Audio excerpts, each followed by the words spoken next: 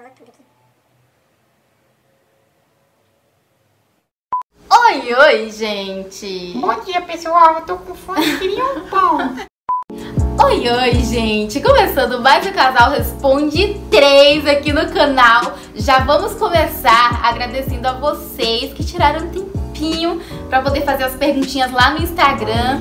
Gente, amamos as perguntas. Muito obrigada pelo engajamento de vocês por lá também. A gente amou.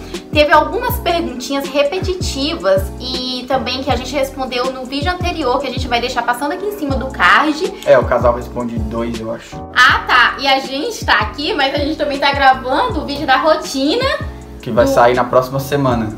Na Então próxima semana. vlog no forno aí pra vocês. É, pausamos o vlog aqui e agora são mais ou menos umas 3 horas da tarde, tanto que eu falei no vídeo pra vocês do vlog. Mas é isso, simbora, né, amor? Depois vão entender tudo. Depois vocês vão entendendo tudo, que a gente vai deixar bem organizadinho aqui pra vocês, gente. Então simbora pra primeira pergunta, gente. aí. Amo assistir seus stories. Você é incrível, sucesso. Há quanto tempo você começou na internet?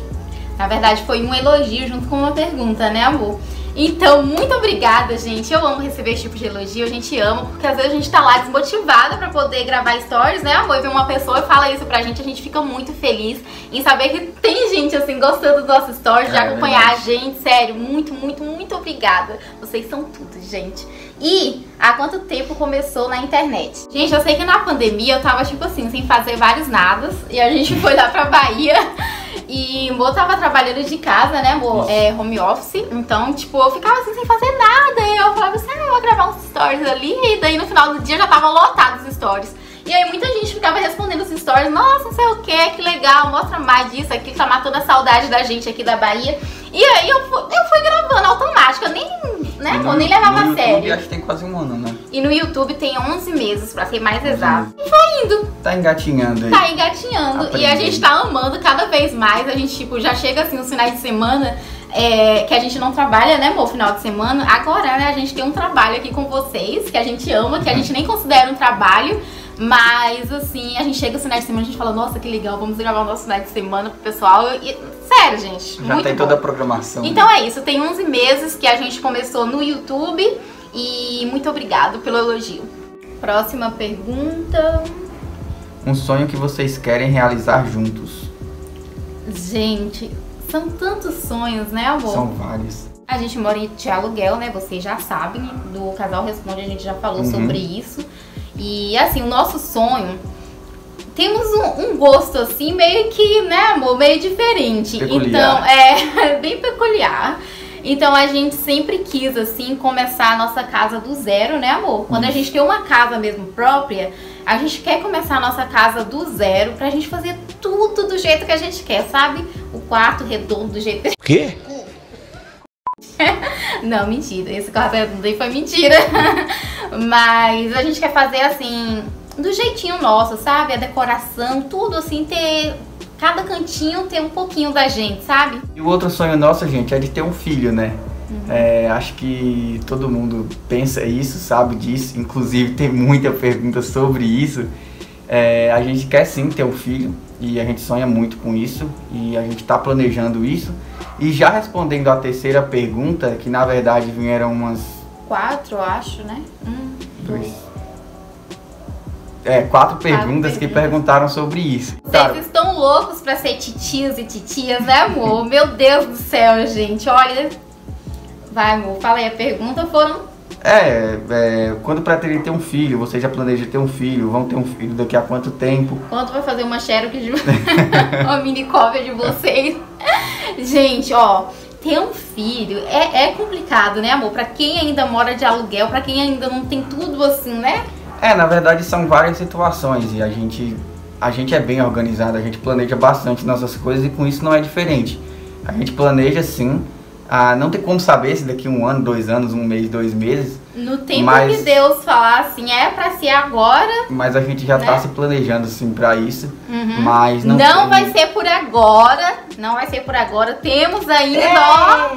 Então, gente, temos 26 aninhos, tem muito tempo. Uma coisa que eu falo pro amor é sempre assim: eu quero ser mamãe depois dos 28 e antes dos 30, né, amor? Isso. Então, a gente, o nosso planejamento tá sendo por aí. pra dar uma data mais exata pra vocês, É, né? Próxima pergunta. Na vida fitness, quem tem o maior foco? Hoje eu acho que é Mo. Eu acho ela mais focada do que eu. É, Não, mas é porque é assim, né? Mulher, quando vai fazer uma dieta, mulher sempre quer uma barriga sequinha. Então eu acho que eu acabo fazendo mais dieta que você. é, uma dieta sempre- mais restrita. Eu sempre com uma- Assim, na real, Mas quem me puxa pro treino, às vezes, que me acorda bem cedinho, é você. é, a gente gosta de treinar, a gente Se tenta tornou comer uma coisa. saudável, se tornou uma coisa normal, assim. Mas eu acho que nada exagerado, como vocês veem aí sempre, a gente sempre come uma coisa que gosta, é, a gente sempre. Não, não Uhum. Preza essa mais ali a não. nossa vida, assim, É. se divertir, não, não ficar privando de tanta. se privando Mas de eu tanta acho que coisa, né, hoje ela tem mais foco do que eu. Eu acho que sim. Você me ensinou bastante a ter bastante foco, gente, mas eu não sei não, hein? Sei que não. Essa aqui. Qual a primeira palavra que vem na sua mente quando se refere a amor? Mozão. É, mozão. Não, mas foi uma pergunta muito boa essa. Ai, gente, palavra amor, né? Amor é uma coisa. Ah, tem diversos significados. Tem de respeito, é, Carinho, carinho, compreensão, compreensão. Nossa, é tanta coisa. Amizade, né? amor? A gente tem, né? principalmente. Somos tão amigos, gente, de verdade. Hoje, assim, eu olho e falo, caramba, amor, eu não tinha muita amizade quando eu era, quando eu era pequena. E hoje, hoje é tipo assim, é, é muito, muito, muito engraçado, porque eu, eu vejo, assim, o meu melhor amigo, o meu marido. Isso é muito bom, sabe? Tipo assim, eu conto de tudo pra ele. A gente não tem segredos um com o outro, né? Isso. Então é isso, gente. Amor é isso. Compreensão, cuidados, a gente saber assim que a outra pessoa se preocupa com a gente, faz, faz de tudo pra ver a gente feliz, né, amor? E eu acho que isso é muito importante. E é isso, gente. Amor é uma coisa maravilhosa. É isso. Amor é tudo. Próxima pergunta. Quanto tempo de casados? Quanto tempo de casados, amor? Ai, quero ver se você A gente sabe. vai completar 5 anos esse ano. Cinco Em aninhos. novembro a gente completa 5 anos. Casamos em 2017. 17. 18, 19, 20, 21, 22, aí completa 5 mesmo. Próxima pergunta. Como é a divisão das contas por aí? Divisão? Vocês dividem? Sério? Gente, nossas divisões funcionam assim. Na real, a gente não tem muita divisão, não. Não E temos. Não tem muito é, salário dela, o salário meu, 50% dela, 50%. Não, Não. o dinheiro é o dinheiro e as contas são as contas e aí a gente paga tudo, é tudo meu e dela, tanto os ganhos quanto as despesas. Então, É, é isso, gente. não, não. É mais ou menos assim que funciona por aqui. Sim. O que mais te irrita no João? É a única coisa que vem na minha cabeça. É assim, né? É, Seja sincera. é a única coisa que vem na minha cabeça.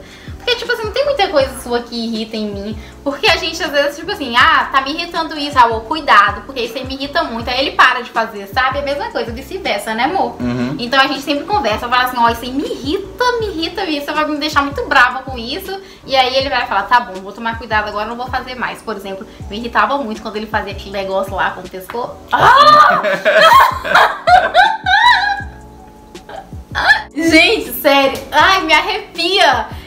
odeio quando ele faz isso. Aí eu falava, amor, quando tá perto de mim, não faz isso, pelo amor de Deus. E ele parou de fazer isso, então nem vou colocar isso em conta. Mas o que me irrita mais nele é que assim, gente, ele sabe que tá chegando aquela época de TPM, sabe? Aquela época que nós mulheres sabemos co- como é que é que funciona, a gente fica sensível, chorona, fica com, com aperto no peito, às vezes fica querendo, tipo assim, sabe? Não, não gosta muito daquele carinhozinho e a época mais que ele me pirraça, sabe? Ele sempre chega assim, ah, que não sei o que e tá. Me pirraça assim, de uma forma que eu não, entendo. é, então é é, porque isso. você tá mais sensível, aí você Não. acha que tudo que eu tô fazendo eu tô te pirraçando. Não, que você sempre chega e fala assim, nossa, você tá de TPM, chegou a hora de pirraçar. Você sempre faz isso. Eu acho. Mentira. Eu, eu tenho certeza que quase todos os maridos fazem isso também, porque eu vejo muito isso na internet. é isso que me irrita nele. Próxima pergunta. Tem a senha do celular um do outro? Claro. Temos, gente. Temos. Tanto que assim, às vezes quando, por exemplo, Ah, eu vou ali no banheiro e vou levar o celular. Tanto gente, é automático, a gente- é. dela. Não existe isso. Nem, né? A gente só coloca a senha mesmo no celular, porque, né, vai, Ah, perde alguma coisa. Mas em casa não. Mas em casa, pelo amor de Deus, não tem senha não. É digital de um e digital do outro, tudo no mesmo É, celular. bloqueio mesmo. É. Próxima pergunta. Com o tempo de casados, a vida amorosa mudou? Sim. Mudou. Muda, gente. É, todos os casais mudam, né, amor? Ah, muda bastante. Por coisa. exemplo, a gente se via só os finais de semana, agora a gente tá, tipo assim, toda noite, acorda, dorme, né? É. Então muda. Eu acho que essas mudanças são importantes. E É, são boas, não são mudanças ruins. Isso, é, deixa de ressaltado isso. São mudanças boas. São mudanças ótimas. são adequações que a gente fez é, pra ela, pra mim, eu e ela. Uhum. É bastante. É bem pessoal, acho, de casal pra casal, mas, cara, isso muda pra todo mundo. É, você vai estar junto com, com a sua companheira, com o seu companheiro todos os dias, todas as noites. É, Muda bastante. muda bastante. Pra melhor. É, bem melhor. É verdade. Quer dizer, às vezes não. Próxima pergunta. Quando vem na Bahia? Ah, essa pergunta a gente recebe em todo casal responde, gente. Todos, Em mas- junho. Em junho. São João, a gente vai, se Deus quiser, passar lá com os nossos pais. Pulando fogueira. Muito bom. E é uma época muito boa, né, amor? De ir na Bahia, assim, é junho. Eu amo essa época do São João, então junho com certeza. Próxima perguntinha. Quem é mais ciumento? Já respondeu, quem é mais ciumento? Brincadeira, gente. Somos bastante ciumentos, eu acho, né? É. Na medida certa, assim. E não acho ruim, não. É, eu acho que é bem, bem igual isso aí. Tanto É. eu quanto ela, a gente tem bastante ciúmes um do outro. É, mas é um ciúmes, tipo, bem. É, Como se fala? nossa. Bem saudável. Não é um ciúmes, assim, que atrapalha a nossa relação, mas somos bem cuidadosos um com o outro, né, amor? Não Isso. digamos uma palavra assim tão forte, ciúmes, mas eu acho que os dois é o mesmo nível mesmo. A gente tem as mesmas exi- exigências, né, amor? É. E é isso. Então foram essas, gente, as perguntinhas de vocês. Muito, muito obrigada. A gente Valeu. amou conversar com vocês, tirar essas dúvidas, né, amor? Bem E legal. Espero que vocês tenham gostado deste vídeo, desse casal responde. Então até o próximo vídeo. Deixa seu like, compartilha aí com um amigo, comenta e inscreva-se no canal. Valeu!